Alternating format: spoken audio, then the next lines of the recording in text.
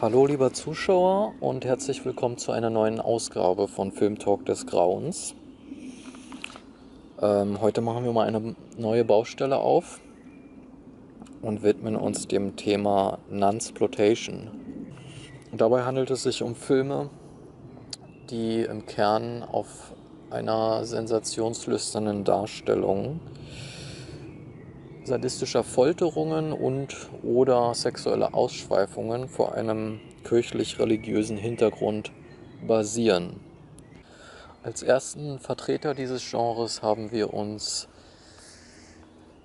Jess Francos Film Die Liebesbriefe einer portugiesischen Nonne aus dem Jahr 1977 ausgesucht. Die Handlung spielt um 1600 noch was und dreht sich um ein junges Mädchen namens Marie, die trotz ihrer Unschuld kirchlichen Würdenträgern in die Hände fällt und äh, in ein Nonnenkloster verschleppt wird, wo sie dann äh, brutalstem Missbrauch psychischer wie äh, körperlicher Natur ausgesetzt ist. Und der Film zeigt ähm, in ja, eskalierender Weise ihren Leidensweg, der sich von da an entfaltet. Nach dieser kurzen Inhaltsbeschreibung ähm, möchtest du vielleicht deine ersten Eindrücke schildern vom Film? Ja, gerne. Also ich war beim Schauen ähm, leicht euphorisch, da der Film einen sehr detailverliebten Charakter hat.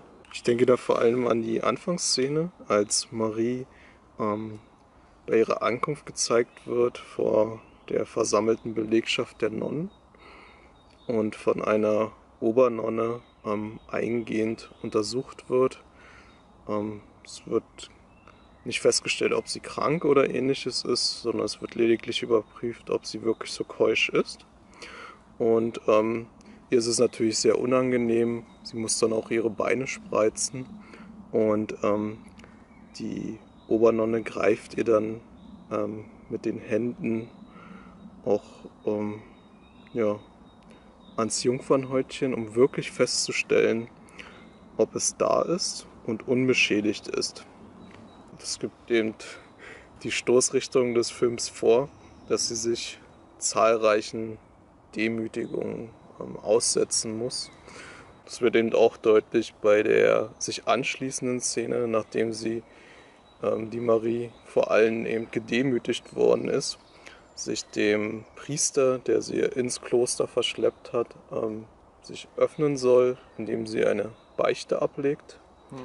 In dieser Beichte soll sie von ihren Schandtaten berichten die natürlich überhaupt nicht existent sind, weil sie halt die unschuldigste Figur in dem ganzen Film ist. Ja, sie deutet in Träumen kleine. Also er, er zwingt sie eigentlich, sich richtig was aus den Fingern zu saugen, deshalb muss sie auf ihre Träume minimal aus. unkeuschen Träume ausweichen, wo sie ja. mal irgendwie eine sexuelle Begegnung mit ihrem Cousin oder so hatte. Und der Priester, der ähm, der einzige Mann ähm, in diesem Kloster ist, will es natürlich ganz genau wissen und zwingt das arme Mädchen zu immer neuen Schilderungen, beziehungsweise immer expliziteren Schilderungen, die sie eigentlich gar nicht ähm, ja, machen nicht, kann. Soll, also. ja. Ja.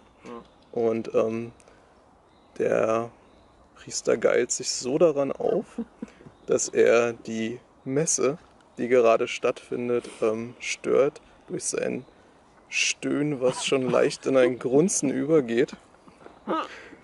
Und das war auf jeden Fall ein sehr vierischer äh, Moment und ähm, da fängt man auch schon an, den Film ins Herz zu schließen, weil ähm, Film, der so offensichtlich eine Freude daran hat, diese perversen Spiele zu zeigen, ähm, das muss man einfach feiern.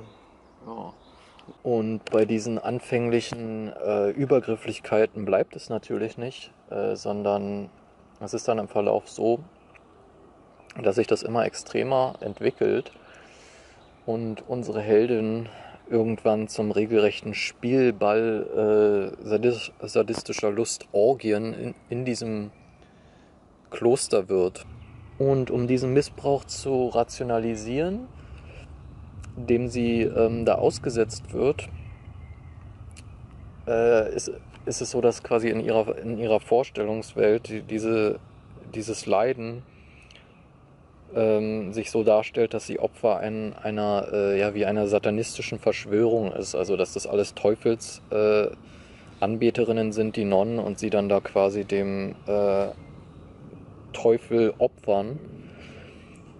Und äh, da sie quasi der, also da ihr, ihr frommer, unschuldiger Charakter verarbeitet es halt auf diese Art und Weise und das ist dann letzten Endes auch der Auslöser dafür, dass sie eine Initiative ergreift, sich aus dieser Gefangenschaft zu befreien und aus dem Kloster zu fliehen, weil sie nämlich ihre Peiniger als ähm, Ketzer mehr oder weniger anzeigen will bei der Inquisition, die zu dieser Zeit noch sehr einflussreich, sehr aktiv ist, aber deren Macht auch schon, wie in manchen Szenen angedeutet wird, ein bisschen zu bröckeln beginnt äh, weil es mittlerweile auch schon hinterfragt wird, diese ganzen Hexenverbrennungen und so, die da stattfinden.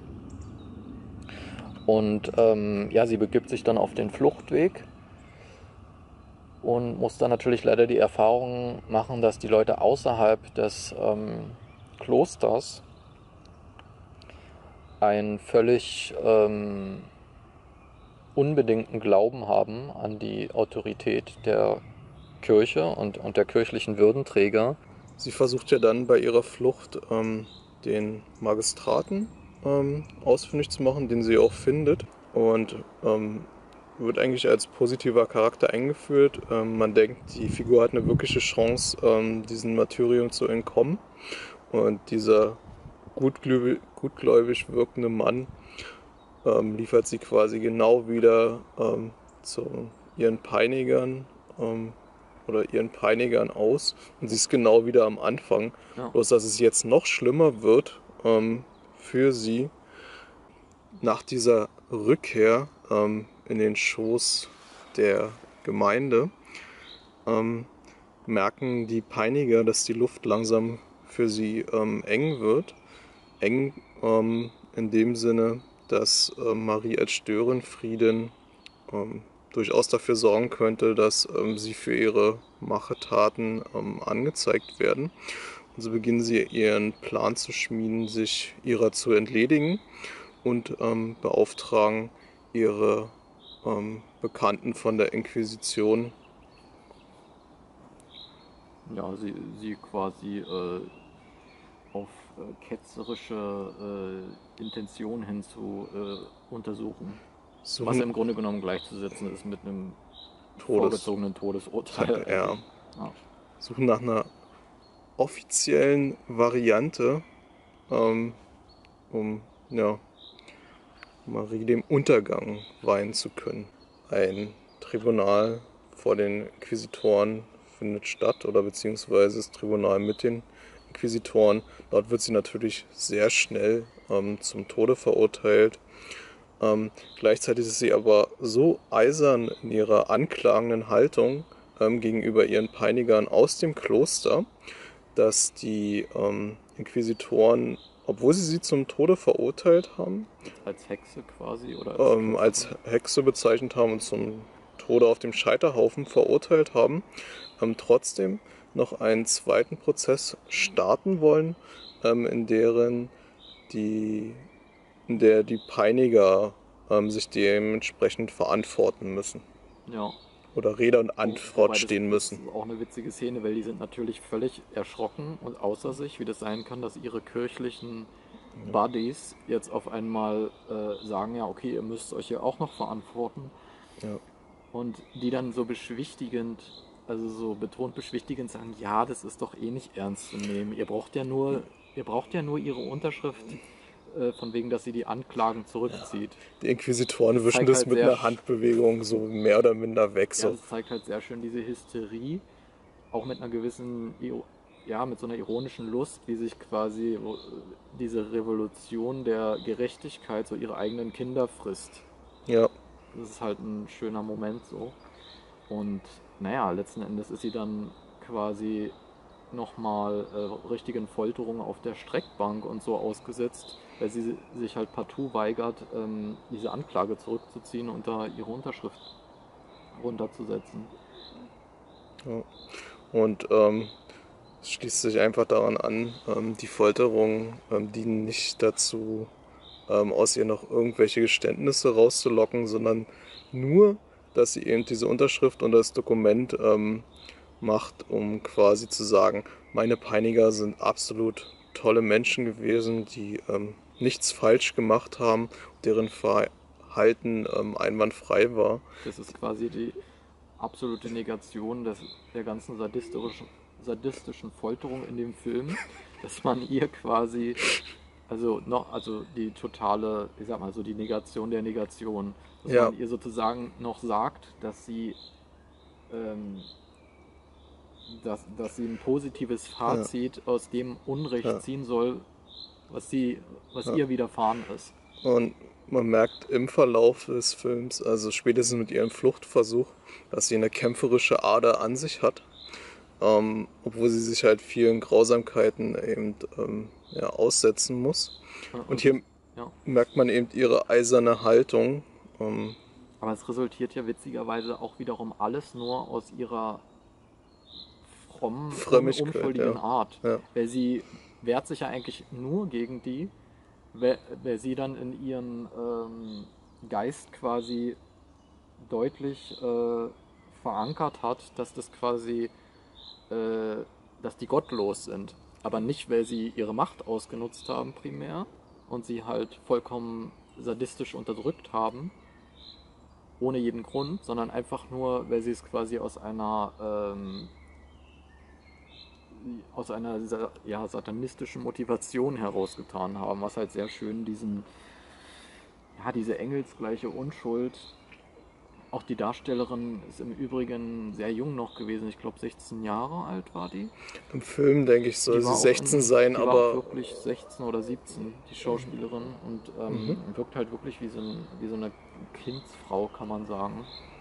ja, Und es ist halt eigentlich so ein Charakter, der so ein bisschen erinnert an ähm, ja, so Charaktere aus Desart-Geschichten, so wie Justine zum Beispiel, ja quasi durch die Hölle gejagt wird, aber eben nicht auf die Seite der ähm,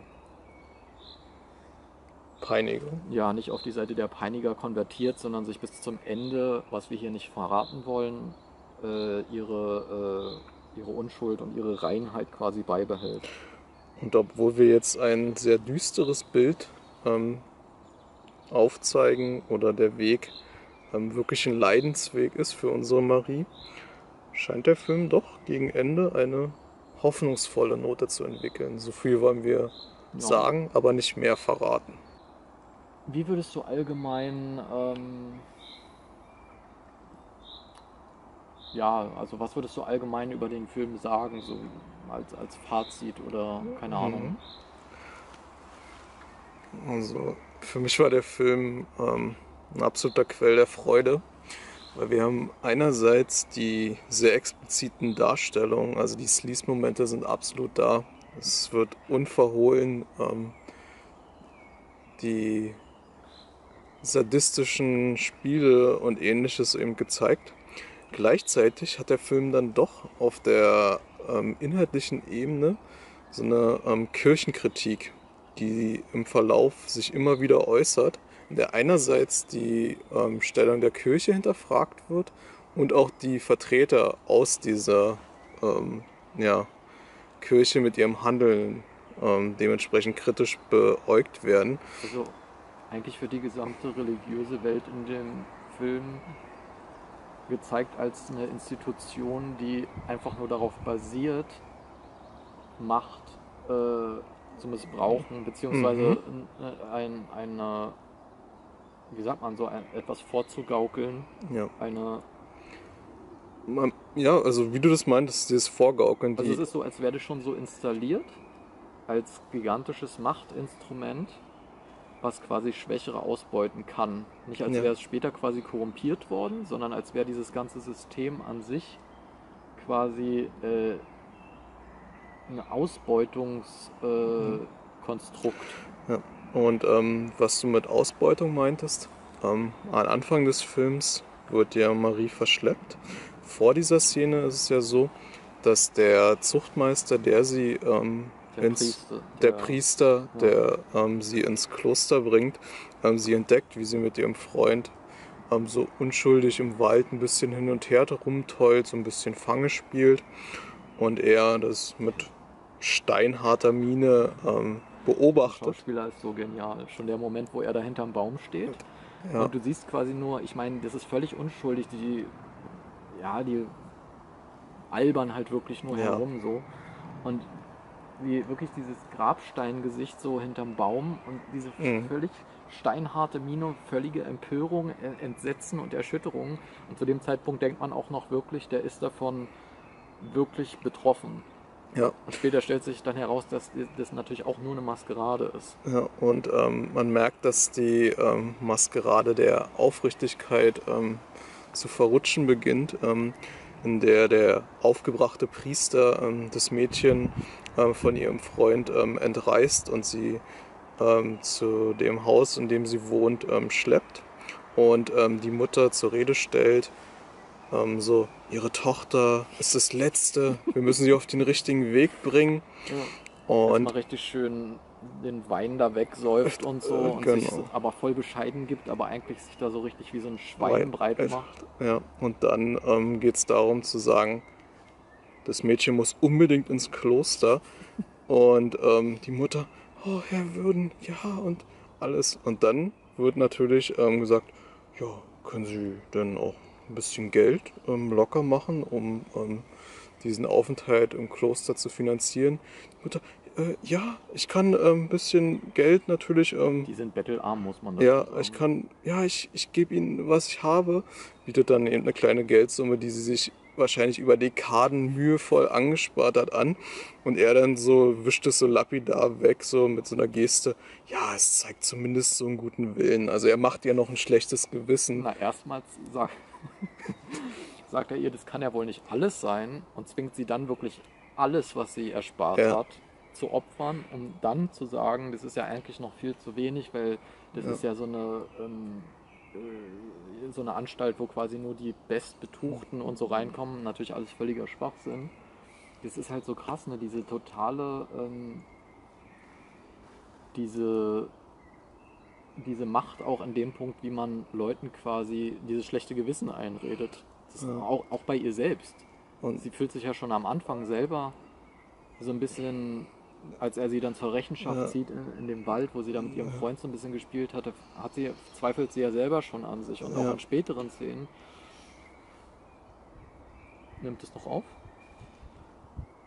Und auch in späteren Szenen, ähm, wo sie dann im Kloster halt schon äh, sehr, sehr zu leiden hat und dann ihr, ihr Freund sogar mal ähm, da einbricht und sie quasi befreien will stößt sie ihn ja noch weg, weil sie meint, es ist wirklich nur für ihr Bestes. Ja, ja. Wo sich für sie noch nicht deutlich herausgestellt hat, dass sie hier ein Spielball teuflischer Mächte sozusagen ist. Mhm. Es ist halt einfach krass, wie äh, die Figuren in dem Film halt diese totale Autoritätshörigkeit haben, die sie erst zu Opfern macht.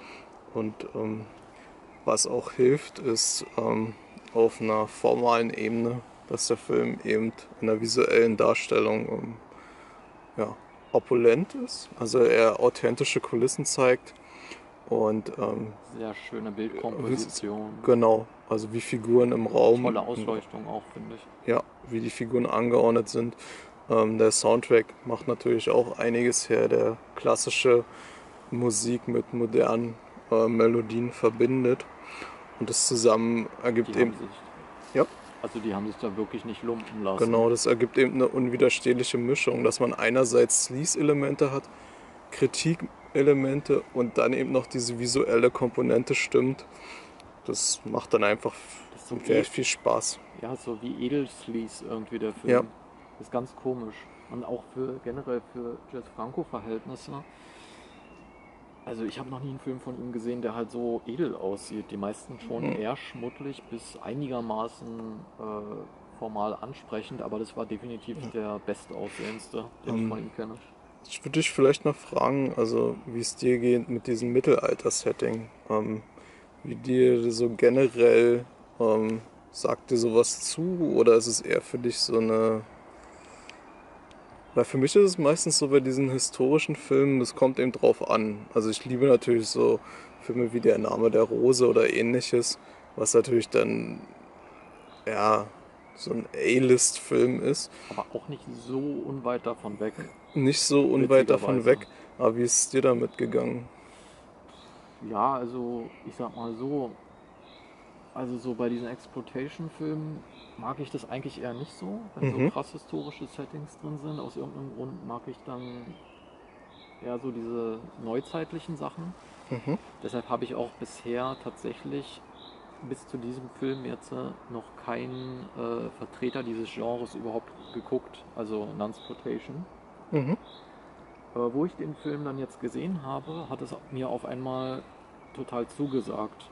Weil halt gerade in dieser historischen äh, Ausleuchtung, dieser Dynamik von Machtmissbrauch, ist natürlich so ein krass wahrer Kern, den man halt kennt, dass das Ganze erstens authentischer wirkt und zweitens kann man es natürlich noch ins Maßlose steigern, weil eben auch diese strukturelle Verfestigung halt wirklich in dieser Zeit der Fall war.